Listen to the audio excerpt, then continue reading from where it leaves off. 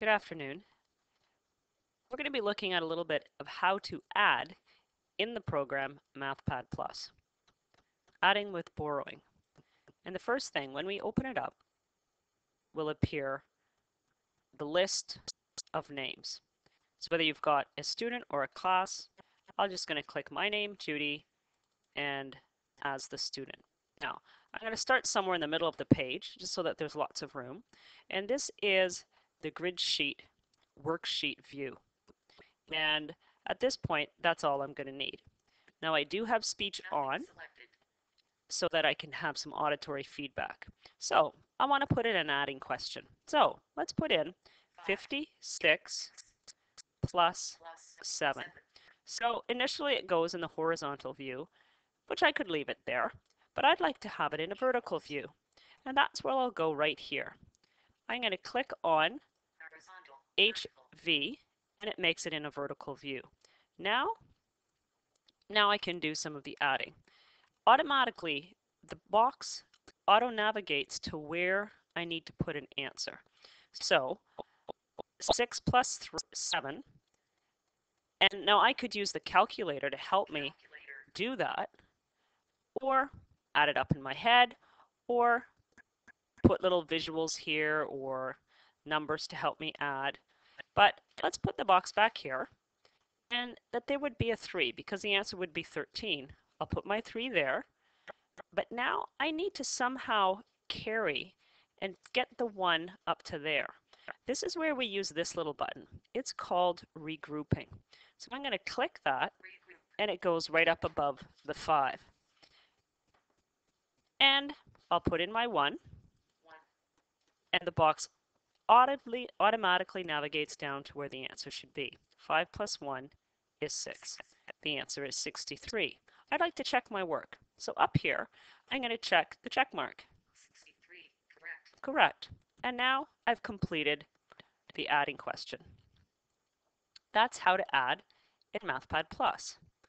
Let's look at subtraction as well, because it's very similar. So that's my first question. And I'm going to go to File New. I'm going to save this question because it's one that I've completed. And it will automatically bring it up. I've created my name when I logged in. And I'm going to name that add, adding, and that's number one, and save. So I'll have my list. So now I'm on the next problem. And I'm going to put in a subtraction question. So this is going to be subtraction with regrouping. Now, I'm going to put in the number 68, Six, subtract minus 29 equals. And again, just like before, I could leave it in the horizontal view, but I want it to be aligned. So this is where I'm going to use this view, horizontal, vertical. Now, it's saying 8 take away 9, which I can't do. I'm going to need to do some borrowing. So this is where I'll use this little one that's called the regroup button. And with the box being here, when I click the regroup, it automatically goes up above where it should. And that's where I'm going to put the number. I'm going to borrow a group of 10. So taking a group of 10 away from the 6 would make it 5. It automatically crosses this out and puts the little box above the 8, which I'll put 1 because I borrowed a group of 10. Now, 18 take away 9. Now I could use the calculator and help me out. 18 take away 9 if I need to. And there's the answer, written fully for me to see. So I'm going to put down below here that the answer is 9. And now 5 take away 2 is 3. I want to check my work. I'm going to go to the check mark. Okay, the answer is 39. There.